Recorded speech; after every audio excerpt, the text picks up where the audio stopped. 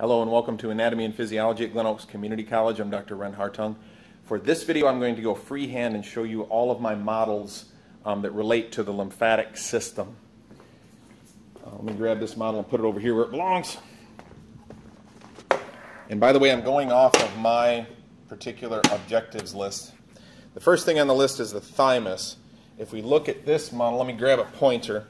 Um, this is a model that represents the sorry represents the endocrine system, um, and it has a thymus because the thymus is part of the endocrine system and also part of the lymphatic system.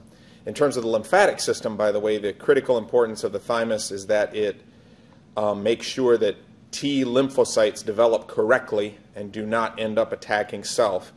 Um, so that's thymus on this model. On this heart model, we have a thymus. So as you can see on the other model, the thymus is right at the top of the heart. And this heart model, therefore, has a nice thymus right here. Um, I like this one because you can pop it off and look at the vasculature on the back, at least for this one, and get an idea of its kind of shape. Nifty fact about the thymus, it's really large in children, and it shrinks as we get older. Um, in children, it's because your lymphatic system, your immune system is developing. Um, so you need lots more T lymphocytes. All right, anyway, moving on to the next one. The next one is the spleen. No spleen on that model.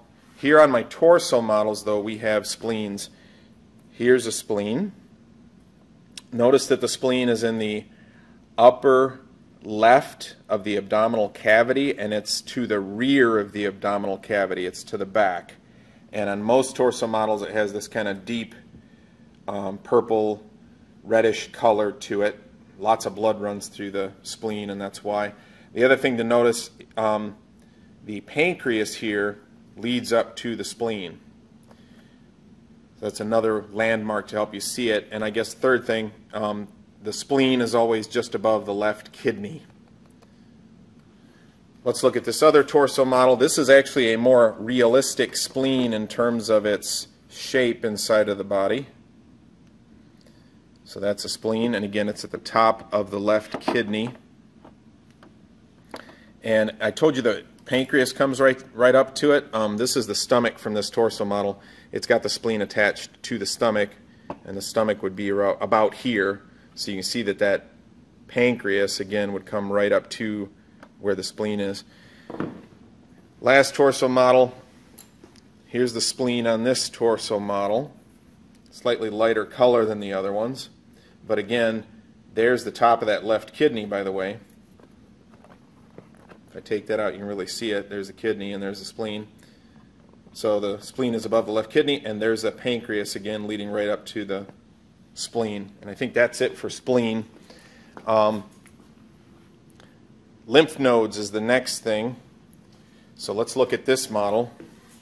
Down here in the upper left thigh, there's a lymph node, there's a lymph node, there's a lymph node, there's a lymph node. Um, and lymphatic vessels are the next. There's lymphatic vessels.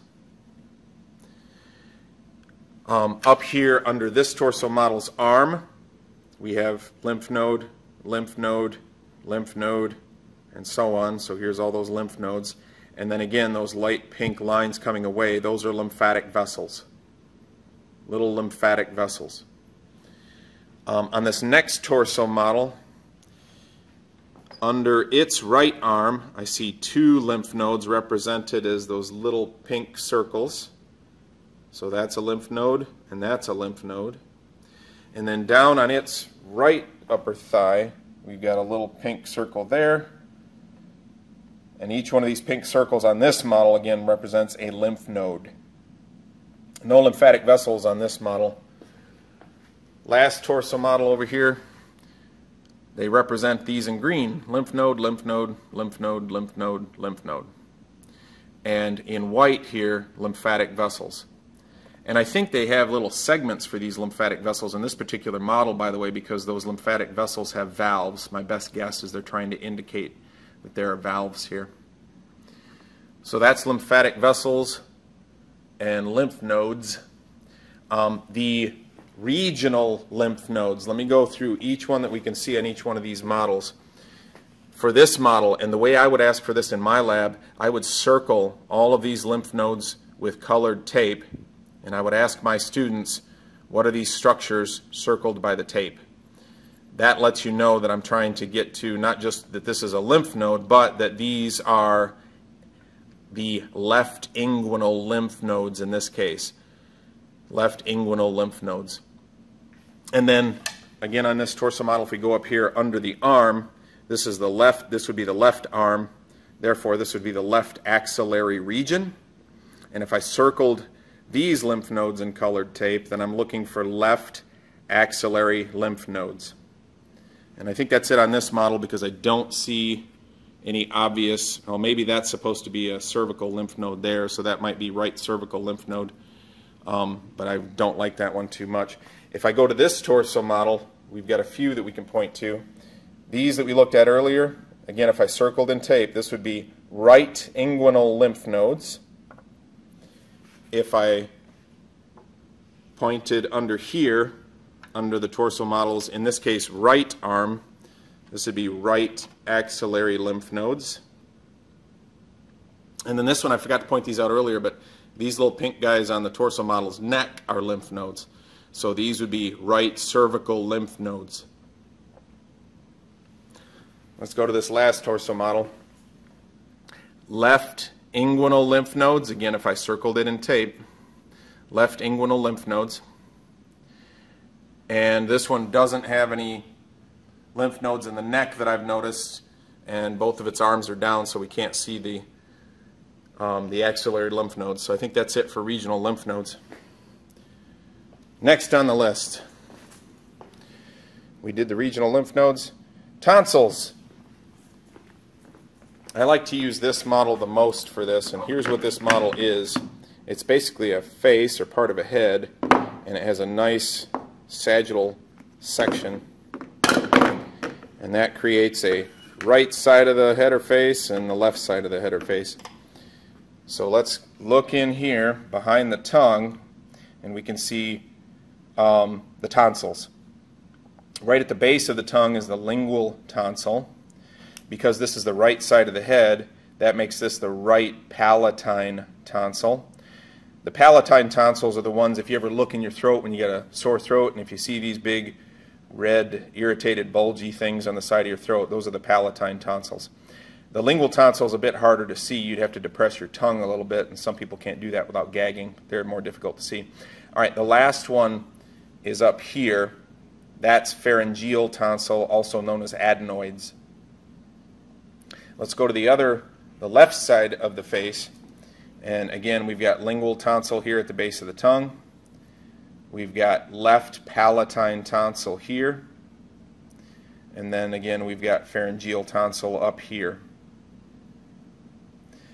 This is the other model that I use for tonsils comes from that older torso model right there.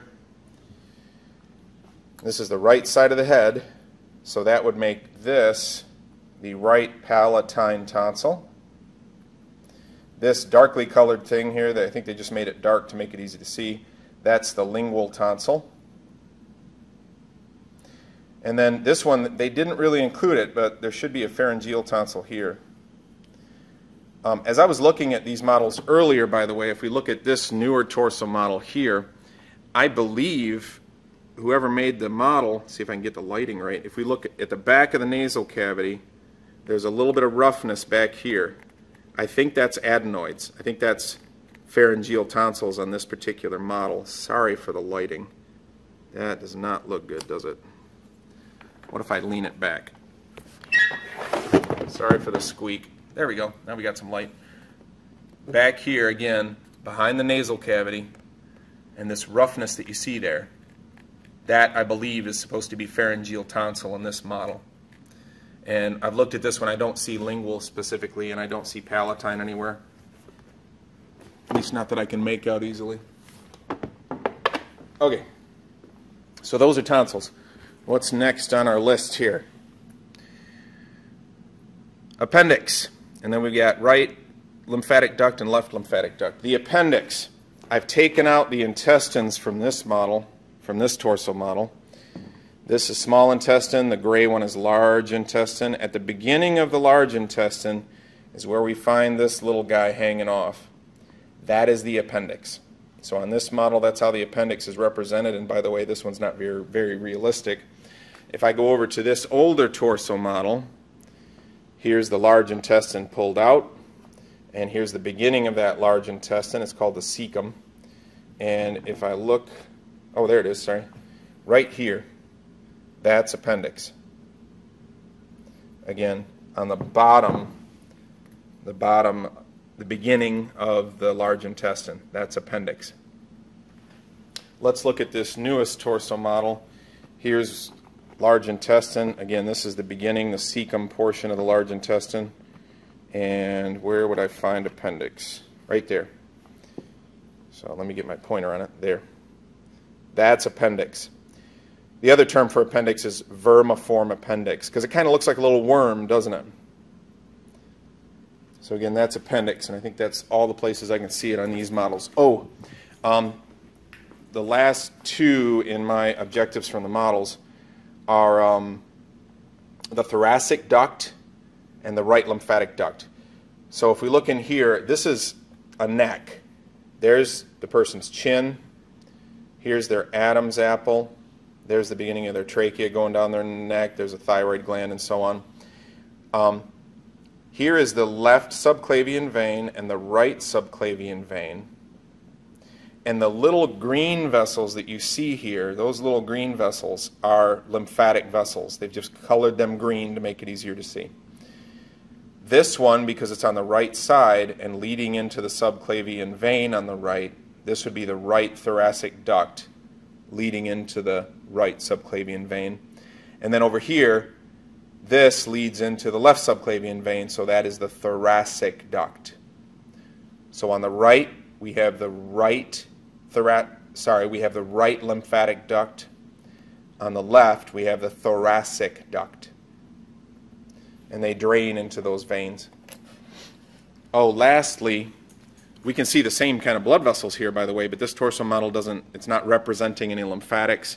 Same for this one, I've looked at it. But this one here, here's that left subclavian vein. And here we have this kind of flesh-colored thing coming in. That must be the thoracic duct. So that's another place where I could ask for thoracic duct. And I believe that's it, at least for my models. That's all of the lymphatic structures that I have in my lab. Um, so, as always, if you have any comments or questions or anything, please leave them down below. And thank you once again for watching.